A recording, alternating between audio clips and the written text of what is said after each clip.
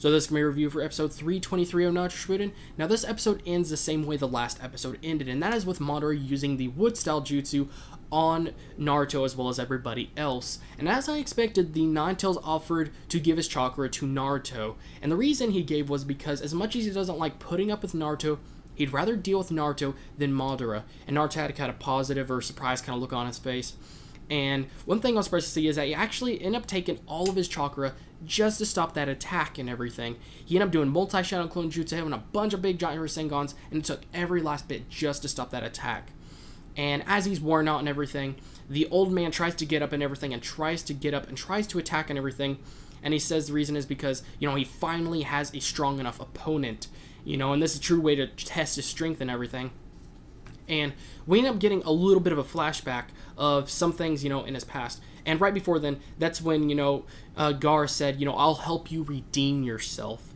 And, you know, and then someone on the side was like, hold on, I thought, you know, the elderly didn't like accepting help from the younger folks. And then the old man was like, well, this time I'll make an exception and everything. And we start getting a little bit of a flashback, you know, of how things were with Madara before. And, you know, how, you know, he knew Madara before and it was right around the time uh, we got a flashback of right around the time when Madara officially, you know, separated from the first Hokage and everything. And it was kind of a war and everything.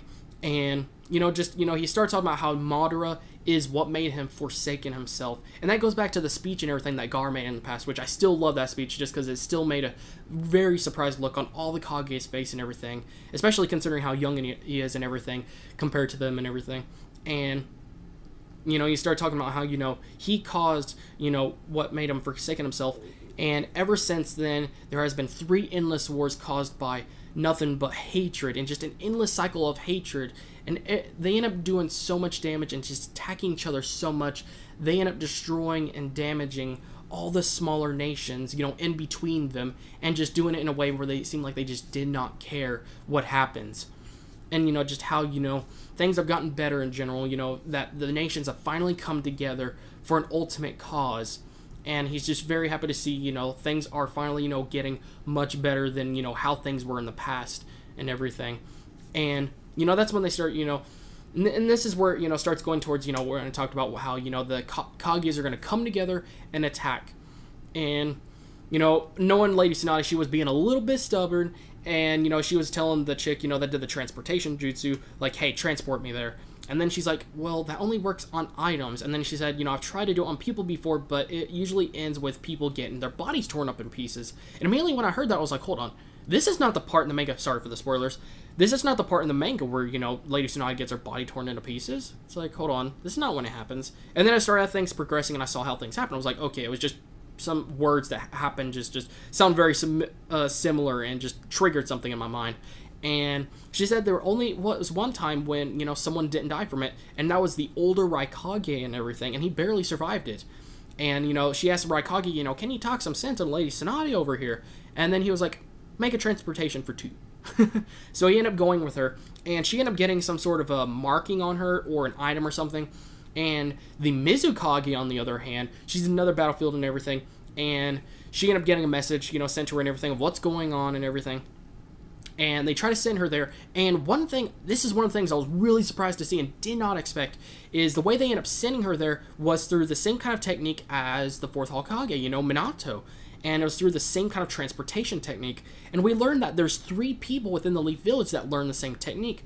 The main drawback is that it takes all three of them just to be able to do it. So they end up transporting her there as soon as the you know the other Kages end up getting there.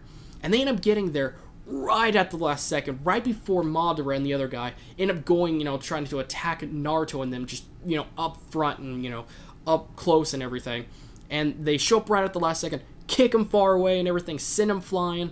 And then that's when they show him up. And, you know, it was really cool to see that. And you know the uh, what Lady Tsunade ended up doing right away was to treat uh, Gaara and the old man because they were really really worn out and everything, and everything. So she tried to heal them, and you know Naruto's like, "Why are you doing that? You know your marking is gonna disappear, get old and wrinkly and get weak again, just like before." And then she's like, "This time it's different because you know unlike you know it's gonna be different than the pain battle because this time I only healed myself." and I have a lot more chakra left over. Naruto's like, hey, if you have that much chakra left over, go ahead and, you know, heal me. And, you know, I don't want to be, you know, just a useless clone. You know, I still have some fighting in me. You know, I don't want to be useless. And then she's like, no. And the reason was because the old man said that this is no longer your, a fight just to protect you. And then that's when, you know, the Mizukage and the Raikage start going after Madara to protect Lady Tsunade so she can at least heal the other two and everything. And they end up attacking him, and and the first thing that happened was, you know, the Mizukage started doing a lava type technique, but it looked like it was seriously just like some slimy looking stuff, and Madara was just running as fast as he could to get away from it. And one thing you got to know about Madara is that just his movements and everything is just very just he, he he just he does a great job of just dodging pretty much anything, and you know, he looked at it and he was like, that stuff isn't even worth absorbing, you know, since he got to the Rene- Rinnegan and everything. And and anyways, the Raikage start going after him, and he ended up starting, you know, attacking him. And he ended up, you know, bringing off the Susanoo and everything. You know, when he had the Rinnegan in the other eye, I guess he could use it even though he only has one eye. Pretty cool. And he ended up bringing it out, and then the Raikage was like, okay, I'll just use the same technique that I used on Sasuke when he brought it out. And it ended up not quite working as well, and it looked like, you know, the chick started using, putting the slime or the lava all over him, and it looked like it was on top of the Raikage. But then we saw the Raikage, you know, and with his fast speed, he immediately got out of there, and he was just right there, you know, he retreated, you know, to protect, you know, Lady Tsunade and everything. And, you know, he asked your asked Lady Tsunade, are you done healing them? And she said, just about done. And that's when things started, you know, getting a little bit crazy. And Madara, of course, he just broke loose of that thing and everything and they were strong enough to, you know, uh, the old man and Gaara were finally strong enough to able to actually do something. And right as Madara was about to attack him and everything, they do right at the last second they do something to defend everyone, and they end up actually doing this. And I really like this was when the old man started doing a like a mud style or a stone style jutsu that give him just a big line of protection and everything. And Gaara put some sand over it too, so it ended up being two lines of defense, which was really really great to see. So they ended up working together and helping protect everybody, and it was really cool to see that. And as things started going, that's when the guys started all coming together to finally try to attack Madara. And Gaara ended up using the like pyramid-like attack, which I was actually surprised just because the simple fact that when he tried to do it before, it barely, you know, it was really hard for him just to be able to try to make it work before, and it was on a much weaker opponent or you know person he was fighting. But you know, he attempted to use on Madara, it didn't work, and everything. And one thing that was really cool is, you know, the Raikage was like, hey, um, you know, I still can't quite catch up, you know, to Madara. And this is one of those things I noted in the past, was the technique that the uh, the old man can use that, to lighten things can't, even though it may seem like a simple thing, it can be useful in so many different ways. It's like a unique, just a very creative jutsu and everything. So what he tries to do, he uses it on the Raikage so then it can make him so much faster. And one thing I probably forgot to mention is that earlier in this episode, one thing I was really happy to see is that there was a bunch of weaker shinobi along the side, and they actually came in and decided to actually be useful by attacking the other guy, you know, not Madara, but the other guy, to make themselves useful because that guy's a lot weaker, and within, you know, you know, strength-wise, you know, a lot closer to what they are and everything. So I was very happy to see that, just seeing that they could actually be useful and everything.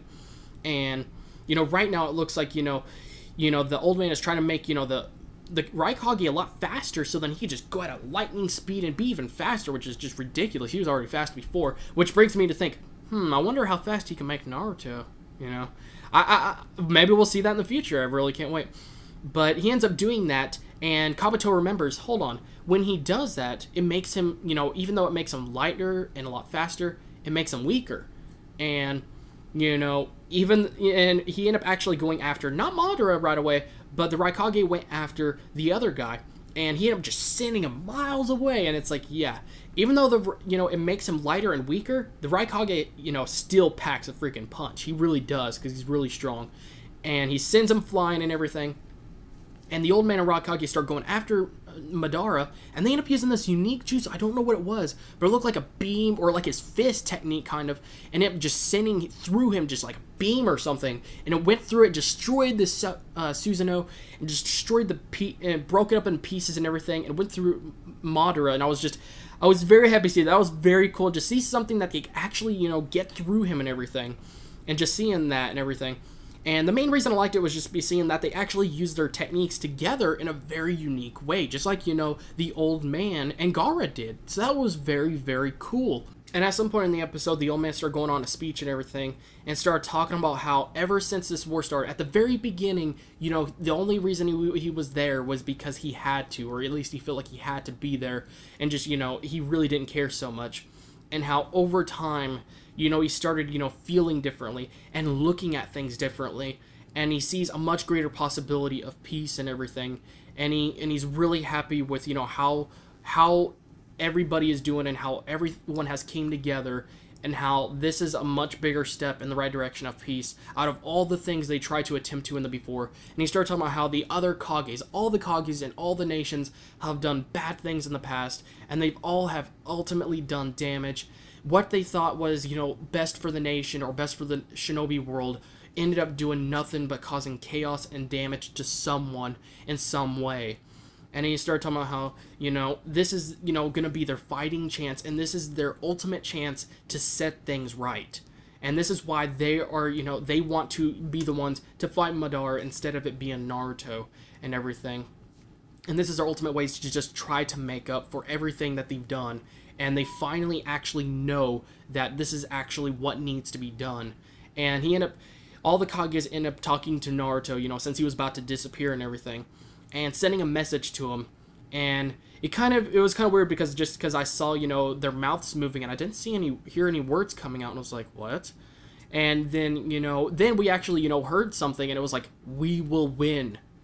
And as Naruto disappeared, that's when he went back to the original Naruto with Killer B and everything, and he got the message and everything, and that's you know when he said, "We'll win," and and it looks like this is the one thing I liked about the ending is that you know Killer Bee and Naruto they're finally catching up to Obito or Toby as people still may know him and everything, and they finally you know just clash together, and Naruto just hit his head against you know Obito and everything, and that was a great way to end. And, you know, just seeing that was really great to see. And seeing all the teamwork in this episode was really great to see, and all you know the jutsus and everything they used together. And one thing, there was a few things I was still surprised to see. The part with you know that you know there's people in the Leaf Village that actually got to learn the jutsu from the fourth Hokage, Hokage you know Minato. You know how to you know transport and everything and just you know seeing you know something like that happen which i don't i didn't think it was quite necessary but it was still quite a surprise and just all the teamwork and everything, you know, Gaara and the Old Man creating that ultimate line of defense, the Old Man and the Ra- Razekage and everything, or the Raikage, you know, using their attacks and everything to ultimately attack Madara and potentially take out the guy that summoned him and everything. And you know, seeing as they they've learned a lot throughout this war and they realize a lot of things, and this is going to be the ultimate chance to really, you know, try to make up for a lot of things. And just seeing all the Kage, Kages actually finally coming together. There was a certain part where it just showed all of them together.